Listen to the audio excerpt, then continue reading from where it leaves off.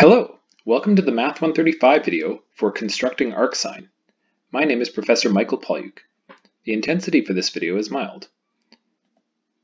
The learning objectives for this video are, by the end of this video, you should be able to construct the inverse of transformations of sine of x, and you should be able to compute the domain and range of arcsine, as well as compute some of its special values.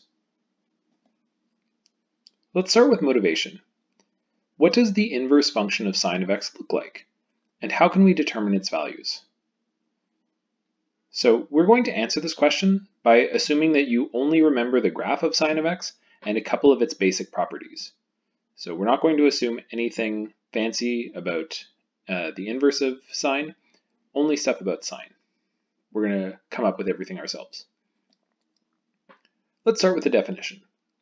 Arc sine of x is defined to be the inverse function for sine of x. And you might wonder why we call it arcsine.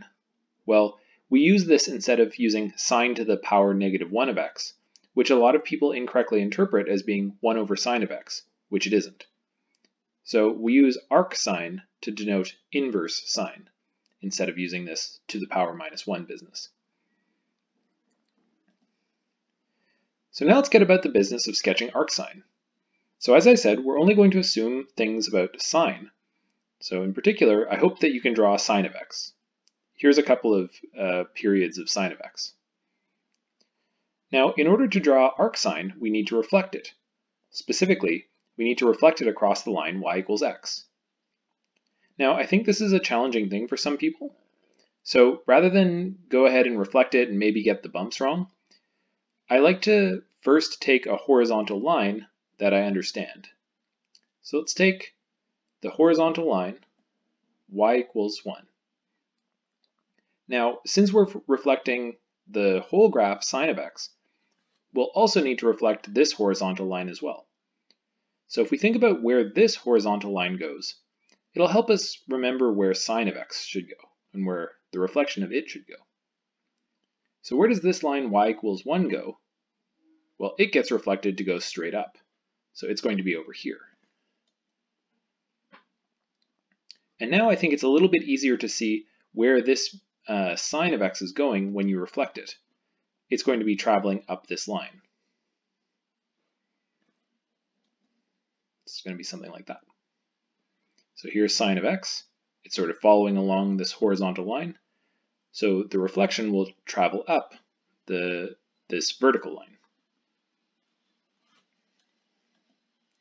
So there we go. There's the picture of sine and arcsine. But now we have an issue, which is that this thing over here is not a function. It badly fails the vertical line test. So in order for it to pass the vertical line test, we're going to need to restrict the domain of the original function sine of x. So to do that, let's first look at over here, where's a part that will pass the vertical line test? So one example of it would be to take this region right here. So if you take this box, everything inside of the box will pass the vertical line test. There are other boxes you could pick, and each of those would correspond to what's called a branch, a different branch of arcsine. But this one is nice because this branch goes through the origin. So if this is our goal, what domain do we need to restrict over here to get this box? Well, it's actually very similar. This box right here. Now, so far we haven't used any numbers, so we're going to move on to that now. But at least I wanted to understand the picture of what's going on before we get into some of the, the numbers. So now let's figure out what, what's actually the domain and range of this, and what's the domain and range of this. So here we've zoomed into those two parts. You notice that they don't quite look the same, right? This one's flat here, whereas this one's flat but going up. All right, now let's focus on sine for a bit. I promised that we would focus completely on sine. So what are some of the values of this that we know? Well, we know where it reaches this top point, we know where it crosses the x-axis, and we know what this bottom point is. We also know how tall it is, right? So we know that sine of x never goes above 1. So where does this horizontal line go? Well, this horizontal line will correspond to this vertical line. this horizontal line is plus 1, so this uh, vertical line will be at 1. Similarly, this vertical line right here, this corresponds to pi over 2, x equals pi over 2. So then this vertical line will go to this horizontal line. So the uppermost part of arcsine is going to be pi over 2.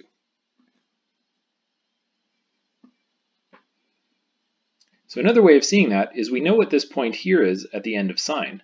It's pi over 2, plug it in, and you get 1. So then because arcsine is the inverse, you've swapped the role of x and y. So this should be 1 pi over 2. Similarly, 0, 0 here gets reflected, but it doesn't move. It's still 0, 0. And then finally, this point right here is minus pi over 2 minus 1. And when you change the x and y here, you get something that is minus 1 minus pi over 2. So computing the values of arcsine really come down to remembering where they came from in the sine diagram. All right, so this tells us all also the domain of arcsine. The smallest value you can plug into arcsine is minus 1, and the largest value you can plug in is 1. And this comes from the fact that sine is minus 1 at its smallest and plus 1 at its tallest. Now let's answer an exercise. What is arcsine of 1 half? Now I know many of you can solve this algebraically, but let's look at what this looks like geometrically in the picture. So arcsine of 1 half means plug in 1 half into arcsine. So here's 1 half. If I plug it in, I get this height. So the question is, what is this height? Well, we can think about this vertical line as coming from a horizontal line over here. So now the question becomes, this is height 1 half, what do I have to plug in to get 1 half? So what angle gives me a sine of 1 half? Well, this is one of our special angles. If you use theta equals pi over 6, you'll see that um, sine of pi over 6 is 1 half. So that tells us that arcsine of 1 half is pi over 6. You exchange the role of x and y. So we're understanding things about arcsine by understanding basic things from high school about sine. Let's see one more example. What is arcsine of pi over 2? So this one's a little bit confusing for people because I think they get confused with sine. But we're asking about arcsine of pi over 2. What happens when you plug in pi over 2 to this function? Well, you can see the issue right away pi over 2 is bigger than 1, so if you try to plug it into arcsine, you don't get anything. One way to see this is that this vertical line is the reflection of the horizontal line, y equals pi over 2. And sine never reaches pi over 2. So one way you might write this is arcsine of pi over 2 is undefined, since we know that sine theta is always less than 1 and it never reaches this line.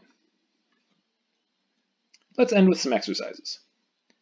Use the picture of sine of x, the picture of arcsine of x, and the inequality sine of x is less than or equal to x for all positive x to show that x is less than or equal to arcsine of x for all positive x. Repeat all the steps here to construct arc cos and then compute arc cos of 1 half. A test question might be, let f of x be 2020 plus sine of 2x. Draw the graph of f inverse of x, assuming you chose the branch that goes through the point 20, 20, 0, and find its domain and range. Also, take a moment to reflect. How can we use the simpler and more familiar function sine of x to give us information about the function arcsine of x? Could you recreate all of this in the slides in a test situation? Why or why not? Thank you very much and have a great day.